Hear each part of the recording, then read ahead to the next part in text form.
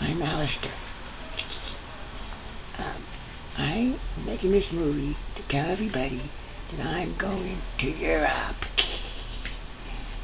I'm going to London. And then I'm going to go to Paris.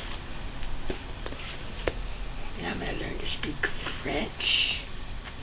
Oui.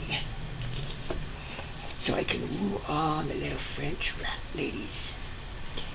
And Daddy says that I don't gotta get a ticket or a passport or nothing because I'm gonna sneak over in his bag like a stowaway. Isn't that exciting? And you all gotta look out for my European adventure blog movies I'm gonna send over. So you can all be jealous of all the good times we're having. And then you kind of won't miss us so much because you'll be seeing us.